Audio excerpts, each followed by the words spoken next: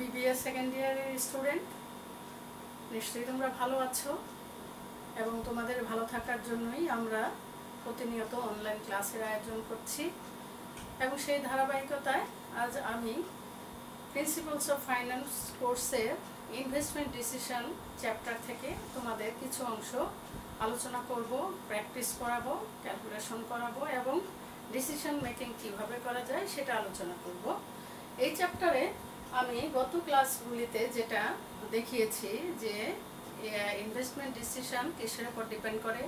যেমন সেখানে থাকে cash flow cash inflow cash outflow এবং সেটা ওভারঅল ক্যাপিটাল বাজেটিংয়ের একটা অংশ।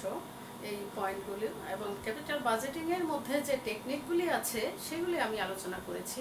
সেই টেকনিকগুলির মধ্যে পেব্যাক পিরিয়ড ক্যালকুলেশনটা তোমাদের দেখিয়েছি। পেব্যাক পিরিয়ডের ইম্প্যাক্ট এবং পেব্যাক পিরিয়ড কীভাবে ইউনিফর্ম ক্যাশ ইনফ্লোর ক্ষেত্রে করা যায় আর নট ইউনিফর্ম ক্যাশ ইনফ্লোর ক্ষেত্রে করা যায় ইত্যাদি করিয়েছি এআরআর দেখিয়েছি। আজ আমি তোমাদের এনপিভি একটা মোস্ট ইম্পর্ট্যান্ট একটা পয়েন্ট বা টেকনিক অফ ক্যাপিটাল বাজেটিং সেই এনপিভি ক্যালকুলেশনের সাথে রিলেটেড যে পয়েন্টগুলি আছে, সেগুলি আমি আলোচনা করব এবং বোঝানোর চেষ্টা করব যে শুধুমাত্র এনপিভি ক্যালকুলেশন করাটাই আমাদের বড় কথা নয়। এই এনপিভি ক্যালকুলেশন করার সাথে যে রিলেটেড শব্দগুলি আছে বা রিলেটেড টার্মগুলি আছে, সেগুলি আমি আজ তোমাদের ভালোভাবে বোঝানোর চেষ্টা করছি। যেমন, এর সাথে রিলেটেড আছে যে পয়েন্টগুলি আমি দেখানোর চেষ্টা করেছি, সেটা হচ্ছে initial initial initial cost purchase price depreciable cost net cash outlay বা এনসিও। এই পয়েন্টগুলি তোমরা ভালোভাবে বুঝে নাও, তাহলে অঙ্ক করতে খুব সুবিধা হবে। যেমন পার্সেস প্রাইস যখন কোনো একটা নতুন যন্ত্র বা যন্ত্রাংশ অথবা কোনো একটা প্রজেক্টের জন্য কোনো মেশিনারিজ আমরা কিনি, সেই সেই সময়ের যে প্রাইসটা সেটা হচ্ছে পার্সেস প্রাইস পার্সেস প্রাইস কিন্তু আমাদের ইনিশিয়াল কস্ট নয়। এই জিনিসটা তোমরা প্রায় গুলিয়ে ফেলো যে purchase price and initial cost বুঝি সেম থিং আসলে সেটা নয়, পার্সেস করলেই সেটা ইনিশিয়াল কস্ট হয় না। ইনিশিয়াল কস্টের সাথে রিলেটেড আরও অনেক কিছু পয়েন্ট থাকে। সেখানে কিছু ইনস্টলেশন কস্ট থাকে যা কার্যক্ষম করার আগ পর্যন্ত, অর্থাৎ ইউজেবল মেশিনারিজটা ইউজেবল করার আগে যে কস্টগুলি করা হয়, সেগুলি যখন অ্যাড করা হয়, তখন সেটা হয়ে যায় ইনিশিয়াল কস্ট এবং আবার আরেকটা জিনিস যে তোমরা যেটা দেখি আমরা, ভুল করে থাকো, প্রায়শই বিগত বছরগুলির অভিজ্ঞতা থেকে দেখেছি যে ডেপ্রিসিয়েশন ক্যালকুলেশন করার জন্য যে বিষয়টা তোমরা নির্ধারণ করো কখনো পার্সেস প্রাইসকে ভাগ দাও লাইফ দিয়ে, আবার কখনো ইনিশিয়াল কস্টকে ভাগ দেওয়া হয় লাইফ দিয়ে সেজন্য আমাদের একটা জিনিস বের করতে হবে যে হোয়াট ইজ ডেপ্রিসিয়েবল ভ্যালু অর্থাৎ যে ভ্যালুটাকে বিভিন্ন বছরে ভাগ করে দিয়ে বা বন্টন করে দিয়ে ডেপ্রিসিয়েশন নির্ধারণ করা হয়, সেই টোটাল ভ্যালুটাই হচ্ছে depreciable cost or depreciable value তাহলে সেটা পারচেস প্রাইসের উপর কিন্তু ডিপেন্ড করে না। সেটা কিসের উপর ডিপেন্ড করে? ইনিশিয়াল কস্টের উপর ডিপেন্ড করে। অর্থাৎ ইনিশিয়াল কস্টের আমাদের ক্যালকুলেশন করার সময় কখনো কখনো আবার পার্সেস প্রাইস কিন্তু ইনিশিয়াল কস্ট হয়ে যায়। যখন সেখানে কোনো ইনস্টলেশন কস্ট না থাকে, সেখানে যদি কোনো এডিশনাল কোনো রকম কস্ট না থাকে ক্যারিং কস্ট না থাকে ইনপুট ডিউটি না থাকে, এই বিষয়গুলি যখন না থাকে, তখন পার্সেস প্রাইসটাই হয়ে যায় কি? ইনিশিয়াল কস্ট এবং ইনিশিয়াল কস্টটাই হলো আমাদের ডেপ্রিসিয়েবল ভ্যালু এবার clear purchase price initial cost and depreciable cost এই ডেপ্রিসিয়েবল কস্টটা হবে initial cost not purchase price আমি আবার বলছি যে ডেপ্রিসিয়েবল কস্টটা হবে initial cost not purchase price তাহলে আমরা এই তিনটার মধ্যে পার্থক্যটা শিখলাম। আর নেট ক্যাশ আউটলে এই তিনটা মিলে নেট ক্যাশ আউটলে হয় যখন সেখানে ওয়ার্কিং ক্যাপিটাল না থাকে। হোয়াট ইজ ওয়ার্কিং ক্যাপিটাল ব্যবসা রান করার জন্য শুরুতে যে খরচটা করা হয়, যে কস্টটা করা হয়, সেটাই হচ্ছে কি ওয়ার্কিং ক্যাপিটাল যখন ডেপ্রিসিয়েবল ভ্যালু বা ইনিশিয়াল কস্টের সাথে ওয়ার্কিং ক্যাপিটাল থাকে, তাহলে initial cost plus working capital then হয়ে যায় কি আমাদের নেট ক্যাশ আউটলে বা এনসিউ সুতরাং কখনোই আমরা পার্সেস প্রাইসকে এনসিউ বলতে পারি না। আবার যদি আমাদের ইনিশিয়াল কস্ট আলাদা না হয়, তখন পার্সেস প্রাইসকে আমরা নেট ক্যাশ আউটলে বলতে পারি। যখন সেখানে আদার কস্ট থাকে ইনস্টলেশন কস্ট থাকে, তাহলে ইনস্টলেশন কস্ট যোগ করার পরে সেটাকে এনসিউ বলতে পারি। আবার যখন সেখানে ওয়ার্কিং ক্যাপিটাল থাকবে, তখন আবার ওয়ার্কিং ক্যাপিটাল যোগ করলে সেটা হয়ে যাবে নেট ক্যাশ আউটলে তাহলে নেট ক্যাশ আউটলে ডিপেন্ড করতেছে বিভিন্ন পরিস্থিতিতে বিভিন্ন রকম, অর্থাৎ যখন আমার কোনো ইনস্টলেশন কস্ট না থাকে, যখন কোনো ওয়ার্কিং ক্যাপিটাল না থাকে, তখন সেখানে পার্সেস প্রাইসটি হয়ে যাবে কি? নেট ক্যাশ আউটলে আবার যখন ইনস্টলেশন কস্ট থাকবে, সেটা যোগ করে হয়ে যাবে নেট ক্যাশ আউটলে আবার যখন আমার ওয়ার্কিং ক্যাপিটাল থাকবে, তাহলে সেটাও যোগ করে হয়ে যাবে নেট ক্যাশ আউটলে তাহলে তোমরা নেট ক্যাশ আউটলে সম্পর্কে মোটামুটি ভালো ধারণা পেয়েছ বলে আমি আশা করি। একটা সিচুয়েশন নিয়েছি যেখানে আমার পার্সেস প্রাইস দেওয়া আছে। অর্থাৎ আমি যে বিষয়গুলি আলোচনা করেছিলাম শুরুতে, সেই বিষয়গুলি তোমরা দেখো যে এখানে পার্সেস প্রাইসের কথা বলেছিলাম। আমাদের এই সিচুয়েশনটায় একটা মেশিনের পার্সেস প্রাইস দেওয়া আছে two lakh fifty thousand import duty দেওয়া আছে থার্টি থাউজেন্ড ক্যারিং কস্ট আছে seven thousand installation charge thirteen thousand working capital sixty thousand খেয়াল করো, আমি কিন্তু তোমাদের শুরুতে বলেছিলাম যে ওয়ার্কিং ক্যাপিটালটা একটা ব্যাপারে আছে, যে ওয়ার্কিং ক্যাপিটালটা থাকলে এনসিও কি হবে? আবার ক্যারিং কস্ট থাকলে কি হবে এনসিও ইম্পোর্ট ডিউটি থাকলে কি হবে? ইনস্টলেশন চার্জ থাকলে কি হবে? অর্থাৎ আমাদের এই সিচুয়েশনটার মধ্যে প্রত্যেকটা আইটেমে আছে, যে, যা আমি শুরুতে ক্লাসের শুরুতে তোমাদের সাথে আলোচনা করেছি। এরপরে আমার ডেপ্রিসিয়েশনের জন্য কি লাগবে? একটা ইউজফুল লাইফ লাগবে। তাহলে ইউজফুল লাইফটা এখানে আমাদের আছে ফাইভ ইয়ার্স আর কি লাগবে? ডিসিশন মেকিংয়ের জন্য প্রথম ক্লাস থেকে মনে করার চেষ্টা করো তো দেখি। যে ক্যাপিটাল বাজেটিংয়ের জন্য ডিসিশন মেকিংয়ের জন্য একটা প্রজেক্টেড ক্যাশ ইনফ্লো লাগবে। অবশ্যই ক্যাশ ইনফ্লোটা দেয়া থাকতে হবে। সেই ইনফ্লোর বেসিসে আমরা নির্ধারণ করব NPV pay back period IRR ARR ROI PI ইত্যাদি টেকনিকের মাধ্যমে আমরা ডিসিশন মেক করার চেষ্টা করব যে ক্যাপিটাল বাজেটিংয়ের ইনভেস্টমেন্ট ডিসিশনটা এই প্রজেক্টে আমার জন্য ফ্রুটফুল হবে কি হবে না? তাহলে আমার ক্যাশ ইনফ্লো এই অঙ্কের মধ্যে কি দেওয়া আছে? ইয়ার ওয়ান এখানে প্রত্যেকটা ওয়ান টু বলতে ইয়ার বোঝানো হয়েছে। ইয়ার ওয়ানে আছে ninety thousand year two eighty thousand year three ninety five thousand year four one lakh and year five আছে নাইনটি থাউজেন্ড আর তাহলে আমাকে এটা, এখানে কি করতে হবে আমাকে অবশ্যই আমার বলে দিতে হবে আমি কোন টেকনিক অ্যাপ্লাই করে আমি ক্যাপিটাল বাজেটিংটা করব। তাহলে আমি এই অঙ্কের ক্ষেত্রে তোমাদের জন্য ক্যালকুলেশনের জন্য যে আমি বলব সেটা হচ্ছে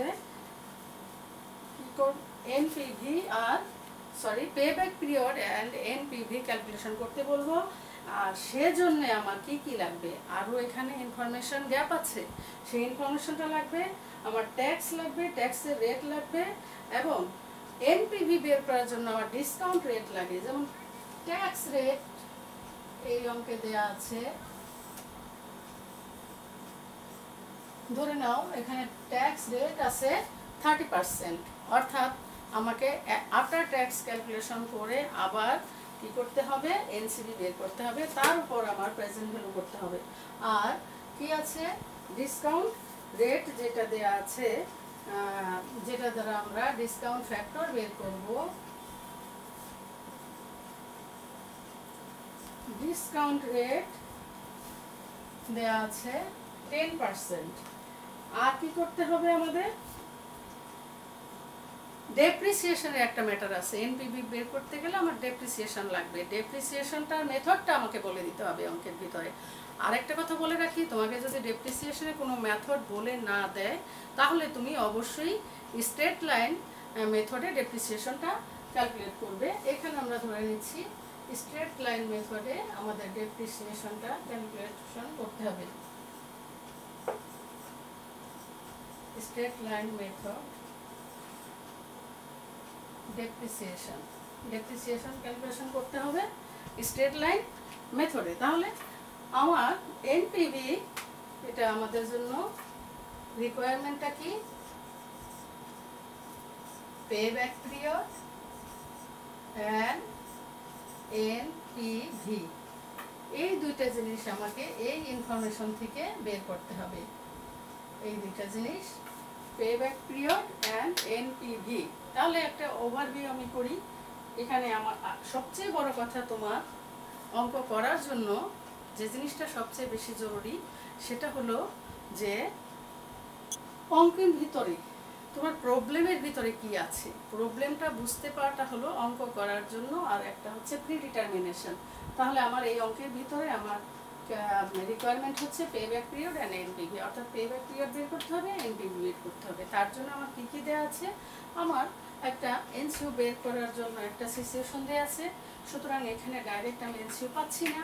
এনসিওটা আমাকে বের করতে হবে। এখানে ক্যাশ ইনফ্লো দেওয়া আছে। এই ইনফ্লোর মধ্যে ট্যাক্স আছে ডেপ্রিসিয়েশন আছে। সেই ট্যাক্স আর ডেপ্রিসিয়েশন ক্যালকুলেশন করার জন্য আমাকে কি তথ্য দেওয়া আছে? ট্যাক্স রেট থার্টি পার্সেন্ট এবং স্টেট লাইন মেথডে ডেপ্রিসিয়েশন ক্যালকুলেট করতে হবে। আর এনপিভি যেহেতু আমাদের এখানে টাইম ভ্যালু অফ মানিটা এটা এখানে ইনক্লুড করতে হয় এনপিভি করার সময় এটাকে আমাকে মাথায় নিতে হয়। সেজন্য একটা আমাদের ডিসকাউন্ট রেট লাগে। তাহলে এই ডিসকাউন্ট রেট অর্থাৎ ডিসকাউন্ট ফ্যাক্টরও বের করার জন্য এই ডিসকাউন্ট রেটটা জরুরি। এই ডিসকাউন্ট রেটটাও আমার দেওয়া আছে। টেন পার্সেন্ট তাহলে প্রশ্নটা আগে ভালো করে বুঝে নাও প্রবলেমটা যে আমার পেব্যাক পিরিয়ড বা এনপিভি বিশেষ করে এনপিভি করার জন্য ডিসকাউন্ট ফ্যাক্টর দরকার, সেটা দেয়া আছে। যদি বিফোর ট্যাক্স ইনফ্লো দেয়া আছে, তার জন্য আফটার ট্যাক্স করার জন্য একটা ট্যাক্স রেট দরকার, সেটা দেয়া আছে। আবার আফটার ট্যাক্সকে এনসিবি করার জন্য নেট ক্যাশ বেনিফিট করার জন্য ডেপ্রিসিয়েশন দরকার, তার জন্য আমার মেথড দেওয়া আছে। তাহলে অঙ্ক কিন্তু মোটামুটি মাথায় একটা ছক আমার হয়ে গেল যে কীভাবে অঙ্কটা আমার করতে হবে। আশা করি প্রশ্নটা বুঝতে পেরেছ, এখন আমি সলিউশনে চলে যাব। দেখো, আমরা এখানে যে আগে যে যে একটা সিচুয়েশন দেখালাম, সেখান থেকে আমরা প্রথমে আমরা ক্যালকুলেশন করছি এনসিও নেট ক্যাশ আউটলেট এই এনসিও ক্যালকুলেশন করতে যে আমি কি দিয়েছি দেখো? পার্সেস প্রাইস আমার প্রবলেমের মধ্যে ছিল পার্সেস প্রাইস দুই লাখ ফিফটি থাউজেন্ড টাকা অল টাকা। পার্সেস প্রাইস টাকা two lakh fifty thousand add import duty বলেছিলাম যে carrying cost import duty installation cost সব মিলিয়ে হয় ইনিশিয়াল কস্ট তাহলে আমি অ্যাড করলাম import duty thirty thousand carrying cost seven thousand installation charge thirteen thousand সব মিলিয়ে কি হয়ে গেল আমার? ইনিশিয়াল কস্ট বা বলেছিলাম এটাই হচ্ছে আমাদের ডেপ্রিসিয়েবল ভ্যালু বারবার এই কথাটাকে আমি initial cost or depreciable value কেন বলছি? ডেপ্রিসিয়েশন ক্যালকুলেশন করার সময় দেখা যায় কখনো এই এই কস্টটাকে তোমরা ইউজ করো। আবার দেখা যায় হয়তো ভুলবশত এই সমস্ত ইনফরমেশন থাকা সত্ত্বেও পার্সেস প্রাইসকে তোমরা ইউজ করে ফেলো ডেপ্রিসিয়েশন বের করার সময়। যে প্রবলেমের ভিতর, যে কোশ্চেনের ভিতর আমার কি থাকবে? এই ধরনের ইনিশিয়াল কস্টগুলি থাকবে যে input duty carrying cost installation cost সেই কস্টগুলি পার্সেস প্রাইসের সাথে কি করতে হবে? যোগ করতে হবে। যোগ করলে সেটা হয়ে যাবে initial cost or depreciable value এই যোগ করার কারণ কি? এ বিষয়ে একটু তোমাদের বলতে চাই। যদিও তোমরা মূল আমাদের অ্যাকাউন্টিংয়ে প্রিন্সিপালস অফ অ্যাকাউন্টিংয়ে এগুলি পড়ে আসছো, তার কারণ হলো যে একটা মেশিন ব্যবহার উপযোগী করার আগ পর্যন্ত যে পর্যন্ত যে খরচগুলি হয়, প্রত্যেকটাই হচ্ছে কি? সেটাকে ফিক্সড কস্ট বলতে হবে। ওই অ্যাসেটকে ওই অ্যাসেটের সাথে যোগ করে ওটা ফিক্সড কস্ট হিসাবেই দেখাতে হবে। ওটাকে আমাদের কি বলে? রেকারিং এক্সপেন্ডিচার হিসেবে দেখানো যাবে না, সেটাকে এক্সপেন্ডিচার দেখানো যাবে না। অ্যাসেট এবং এক্সপেন্ডিচারের মধ্যে যে পার্থক্য, যে কখনো কখনো আমার ইনপুট ডিউটি এক্সপেন্স হয়ে যাবে, কখনো কখনো ক্যারিং কস্ট এক্সপেন্স হয়ে যাবে। যখন নাকি এইগুলি মেরা ইউজ মেশিনটা ব্যবহার উপযোগী করার পরে যদি কোনো এ ধরনের কোনো খরচ হয়, তখন সেটা এক্সপেন্স হয়ে যাবে। বাট যখনই এটা আমার মেশিনটা ব্যবহার করার আগেই ইনস্টলেশন কস্টটা অনেক সময় মনে হয় মেরামতের মতো। না, এটা মেরামত পর্যায়ে বা এক্সপেন্স পর্যায়ে যাবে না। যেহেতু মেশিনটা ব্যবহার উপযোগী করার জন্য এই কস্টগুলি করা হয়েছে, তাহলে এই সবগুলি কস্টই হলো ওই অ্যাসেটের সাথে রিলেটেড সুতরাং ওই অ্যাসেট ভ্যালুয়েশনের জন্য এই এই চার্জগুলি বা এই কস্টগুলি যোগ করেই ওই অ্যাসেটের মূল্য নির্ধারণ করতে হবে। যেমন আমি এখানে একটা মেশিন কিনেছি। এই মেশিনে যখন ক্রয় করেছি, তখন কিন্তু ছিল two lakh fifty thousand but এই মেশিনটা যখন আমি এটার মূল্য ধরতে যাব বা অ্যাসেটের মধ্যে মেশিনটার মূল্য দেখাবো, তখন কিন্তু আমাকে দেখাতে হবে এই থ্রি লাখ কেন দেখাতে হবে? কারণ এই ইনিশিয়ালি এই কস্টগুলি হয়েছে, অর্থাৎ ব্যবহার উপযোগী করার পূর্বেই এই কস্টগুলি করা হয়েছে। সো এই অ্যাসেটের মূল্য তখন হয়ে যাবে থ্রি লাখ তাহলে আমরা এই ডেপ্রিসিয়েবল ভ্যালু এবং ইনিশিয়াল কস্ট পেলাম। এখনও কিন্তু এনসিও পাইনি। মনে করো, আমি আমার ক্লাসের শুরুতে তোমাদের কি বলেছিলাম? আমার ক্লাসের শুরুতে বলেছিলাম যে যদি ওয়ার্কিং ক্যাপিটাল থাকে, সব ধরনের প্রবলেমের মধ্যে কিন্তু ওয়ার্কিং ক্যাপিটালটা থাকে না। যদি ওয়ার্কিং ক্যাপিটাল থাকে, তাহলে ইনিশিয়াল কস্ট বা ডেপ্রিসিয়েবল ভ্যালুর সাথে আমাদের ওয়ার্কিং ক্যাপিটালটা যোগ করে দিতে হবে। তারপরে আমাদের এনসিওটা বের হবে অ্যাট ডব্লিউসি অর্থাৎ ওয়ার্কিং ক্যাপিটাল ওয়ার্কিং ক্যাপিটাল আমাদের ছিল কত? ওয়ার্কিং ক্যাপিটাল ছিল sixty thousand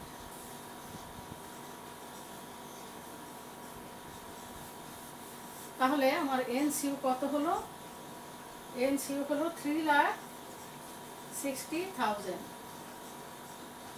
three lakh sixty thousand হচ্ছে আমার এনসিউ এই এন এনসিউটা বোঝানোর জন্যই আমি এতক্ষণ কথা বললাম। এখন আমাকে যেটা ক্যালকুলেশন করতে হবে depreciation calculation of depreciation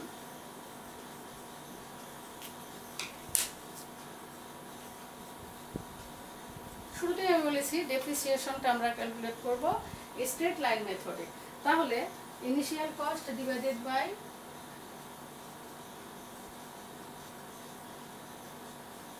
cost minus SV দিয়ে আমি বোঝাচ্ছি। যদি আমাদের স্যালভেজ ভ্যালু থাকে, অর্থাৎ স্ক্র্যাপ ভ্যালু থাকে, যেটাই বলি এস দ্বারা স্ক্র্যাপ ভ্যালুও বলা যায় স্যালভেজ ভ্যালু বলা যায়, খুচরা যন্ত্রাংশ বিক্রির পরে যে টাকাটা থাকবে আর কি- করতে হবে? সেটাকে লাইফ দিয়ে ভাগ করতে হবে। লাইফ বলতে মেশিনের একটা লাইফ ধরে নেওয়া হয়। এই মেশিনটা কত বছর রান করবে? আমাদের এই অঙ্কে মেশিনের লাইফ দেওয়া ছিল কত বছর? পাঁচ বছর। তাহলে এখান থেকে আমার ইনিশিয়াল কস্ট কত? থ্রি লাখ আমার এই প্রবলেমের ভিতর স্ক্র্যাপ ভ্যালু বা স্যালভেজ ভ্যালু নাই। সুতরাং এটা আমি জিরো দেখাতেই পারি।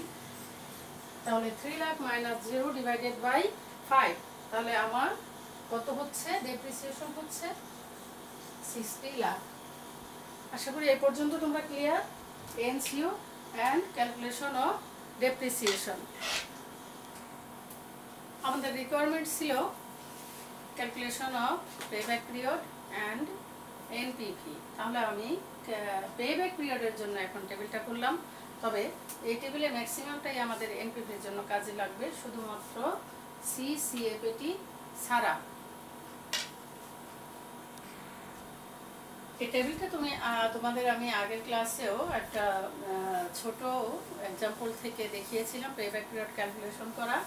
আর এখন আমি এটা করলাম, দেখো যে এখানে আমাদের যে ইয়ারওয়ে দেওয়া ছিল সিএফ বিটি আমাদের দেয়াই ছিল, অর্থাৎ ক্যাশ ফ্লো বিফোর ট্যাক্স ডেপ্রিসিয়েশনটা আমরা ক্যালকুলেশন করলাম তারপরে সিএফবিটি মাইনাস ডেপ্রিসিয়েশন করলে হবে কি?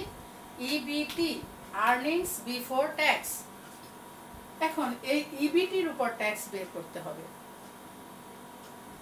ইবিটির উপর ট্যাক্স বের করলাম কত? থার্টি পার্সেন্টের উপর যে থার্টি থাউজেন্ডের উপর থার্টি পার্সেন্ট হচ্ছে নাইন থাউজেন্ড এভাবে আমার ইবিটির উপর ট্যাক্সগুলি ক্যালকুলেশন করেছি nine thousand three thousand ten thousand five hundred twelve thousand and nine thousand এখন এই ট্যাক্সটা ক্যালকুলেশন করে কি করব?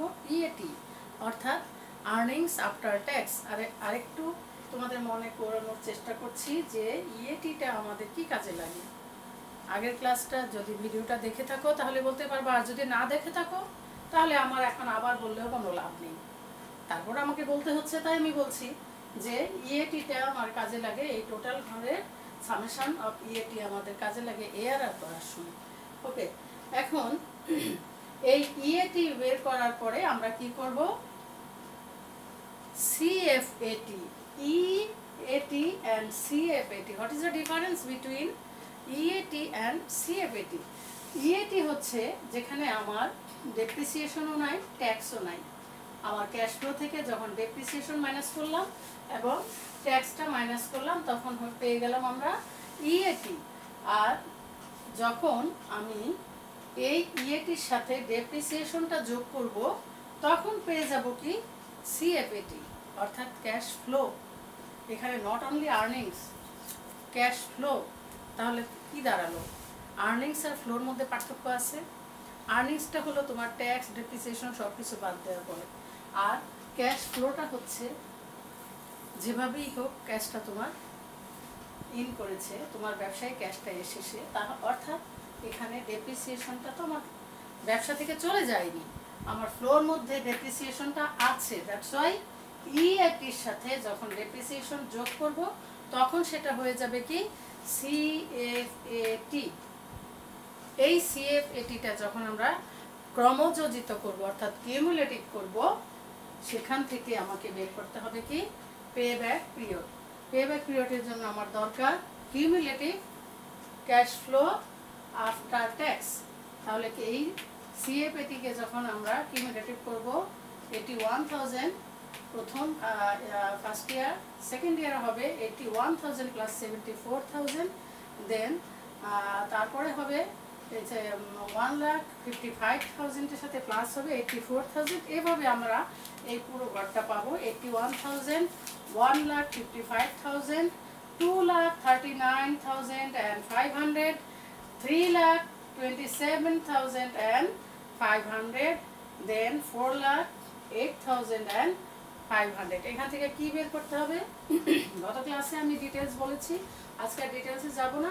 আমার পে ব্যাক পিরিয়ডের সূত্রের ভিতরে কি আছে? পে ব্যাক পিরিয়ডের সূত্রের ভিতরে আছে A plus NCO minus C divided by D অর্থাৎ এই বের করতে হবে আমার যে ইনিশিয়াল ক্যাশ আছে তার সবচেয়ে কাছাকাছি কাছাকাছি টাকাটা আমার কোন ইয়ারে আমি পাচ্ছি? দেখো চতুর্থ বছরে যে আমি পাচ্ছি কি?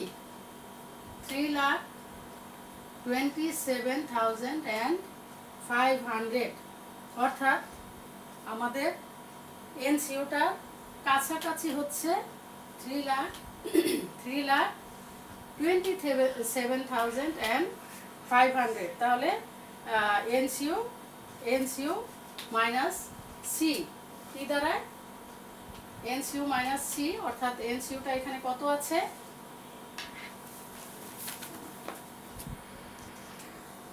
আমরা কি পাচ্ছি? পেব্যাক পিরিয়ড করার জন্য আমাকে প্রথমে বের করতে হবে। A year nearest amount of year nearest amount of NCO that is fourth ইয়ারে আমরা যে নিয়ারেস্ট অ্যামাউন্টটা পাচ্ছি three lakh twenty seven thousand five hundred অর্থাৎ সেই সেই বছরে এই ফোর্থ ইয়ারে যে কিউমুলেটিভ কিউমুলেটিভ সিএপিটিটা আছে, সেটাই হচ্ছে আমার সূত্রের জন্য সি আর এর পরবর্তী বছরের এর এগ্রিভেশনের ইলাবোরেশন আমি গত ক্লাসে তোমাদের দেখিয়েছি, তো এ আর আজকে আমি দেখাচ্ছি না।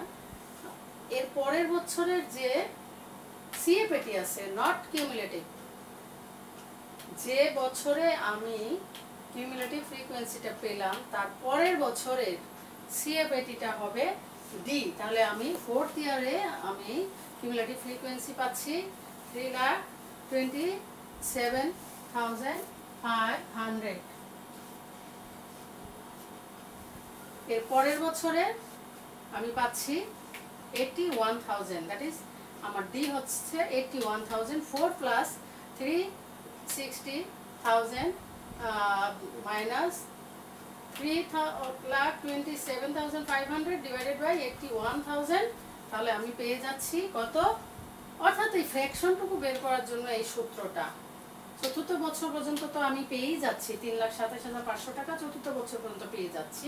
আমার বাকি টাকাটুকু three sixty lakh sorry three lakh sixty thousand হতে আমার কতটুকু টাকার বাকি আছে সেইটুকুর জন্য আমার কতটুকু সময় লাগবে? সেই ফ্র্যাকশনটুকু বের করার জন্যই এই সূত্র আর কিছু না। তাহলে আমি সেখানে যে পাচ্ছি কি? পয়েন্ট ফোর ওয়ান ইয়ার্স তাহলে টোটাল হচ্ছে আমার পেব্যাক পিরিয়ডে পয়েন্ট ফোর ওয়ান ইয়ার্স তাহলে আশা করি গত ক্লাস এবং আজকের ক্লাস মিলিয়ে তোমাদের পেব্যাক পিরিয়ডে আর কোনো সমস্যা থাকার কথা না। যদি আমার আগের ভিডিও এবং আজকের ভিডিওটা খুব ভালো করে মনোযোগ দিয়ে দেখো, আমি এই ইনফরমেশন থেকেই আবার তোমাকে আগামী ক্লাসে এনপিভিটা ক্যালকুলেশন করে দেখাবো। আশা করি প্রত্যেকটা ক্লাসের সাথে একটা ক্রোনোলজিক্যাল রিলেশন তোমরা রেখে অঙ্কগুলি দেখবা। তাহলেই তোমরা এখান থেকে উপকৃতই হতে, উপকৃত হতে পারবা। তো আজকের মতো এ পর্যন্তই। আল্লাহ হাফেজ।